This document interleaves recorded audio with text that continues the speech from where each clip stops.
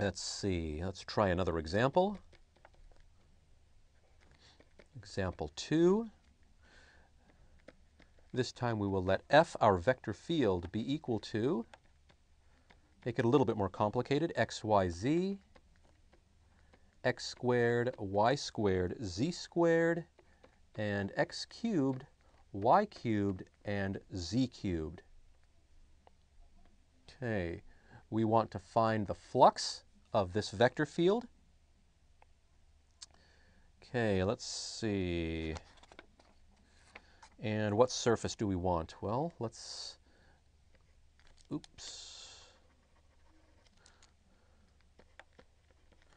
Let R be the region. So this time the region is going to be defined by several uh, equations in x, y, and z. Be the region uh, z is greater than or equal to 0, x is greater than or equal to 0, y is greater than or equal to 0, and the relationship between x, y, and z is x plus y plus z is equal to 1. So when you put all of that together, what you have is this following region. It is the uh, pyramidal region in the first octant. So let me draw it over here to give myself some room on the left.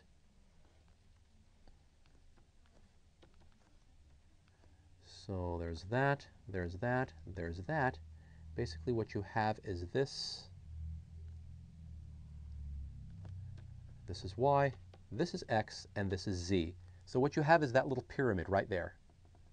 This pyramid made up of the uh, yz plane, the zx plane, the xy plane, and this plane, that surface, that's the x plus y plus z is equal to one plane. So you basically have a surface a volume that's contained by four surfaces. So you have one, two, three, and four, the plane. So if you wanted the flux of this vector field, you have to serve, solve four integrals. You have to find four different parameterizations, and you have to solve four integrals. Fortunately, we don't have to do that because we have the divergence theorem. So we can just solve one volume integral. This volume is very, very easily um, extracted. Okay. So let's let me actually label these. So this is going to be surface 1, just so we know. This is going to be surface 2. This is going to, the, the back is going to be surface 3. And of course, this plane right here, this thing, we call that surface 4. So again, our surface is the union of all these surfaces. S3 union S4. So if we wanted the integral over this, we have to do one, two, three, four integrals. We don't want to do four integrals. We want to do one. The divergence theorem is the perfect tool for this. Excellent. So let's go ahead and calculate the divergence. Let me rewrite uh, f so we have it on the page. So we have x, y, z. Whew, gotta slow down here, get kind of crazy and excited. This is great stuff. x squared, y squared, z squared, x cubed, y cubed and z cubed. So the divergence of f is equal to, well, the so this is f1, this is f2, this is f3, so df1 dx is going to be yz. df2 dy is going to be 2x squared y z squared. And as always, I hope that you are confirming this for me because I do have a tendency to make lots of arithmetic mistakes and differentiation and integra integration mistakes.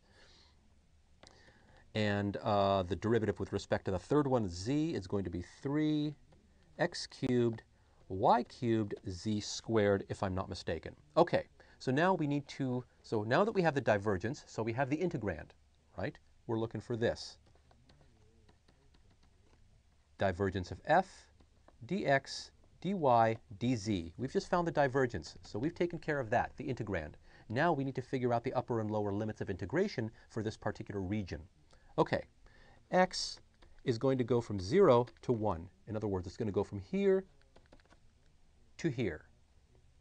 y, well, the relationship between y and x, y is going to be this height right here. It's going to go from 0 all the way to minus x plus 1. That's what this line is right here. If I take the xy plane, this line is minus x plus 1, or 1 minus x. So y is going to go from 0 to minus x plus 1.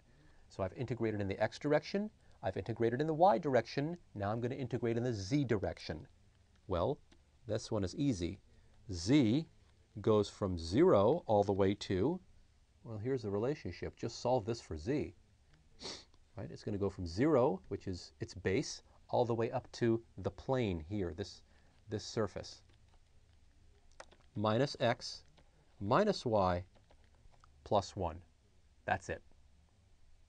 So again, all of these integrals ultimately come down to two things. You need to be able to extract the integrand, you need to be able to figure out what the upper and lower limits of integration is, and you're done. The rest is very, very easy. That's what this problem, all these problems are about. So, our flux, our integral is equal to 0 to 1 0 to minus x plus 1. We'll do y next.